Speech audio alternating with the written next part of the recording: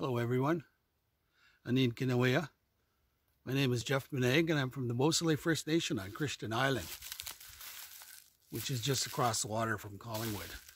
And I'll tell you a bit about what I will do on June 21st, which is uh, in celebration of uh, the indigenous people of this, of this land, uh, the first peoples of this land.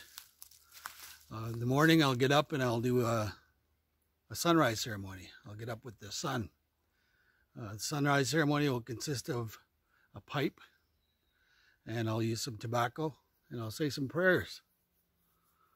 And I'll I'll be thankful for things like well, like this forest, the forest that we have here around us, which gives us life.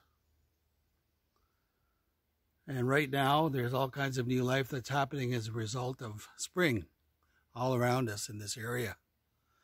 And I'll be thankful for everything from the little insects, the mnidosak in my language, which literally means those little spirits. I'll be thankful for those because they help to build this world that we see around us, this natural world. And I'll be thankful for the trees, the tiguk. Uh, and again, those in my language means that whenever a word ends in a K or hard G, it means that that thing I'm talking about is a living thing. And these are, in fact, living things, all these trees around us. And so we respect those. And when we, we use any, any part of the tree, we only take what we need. Just like we would if anything in the forest here, whether it's an animal or a plant, we only take what we need. Be respectful of everything. We would not cut down this forest if we needed just one part of it.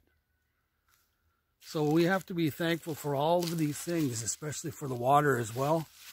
Uh, there's wonderful streams all around our, our territory, like this one here. And water is life, and water is what gives us what we need. So on that day, I'll be thankful for all of these things that the Creator has given us.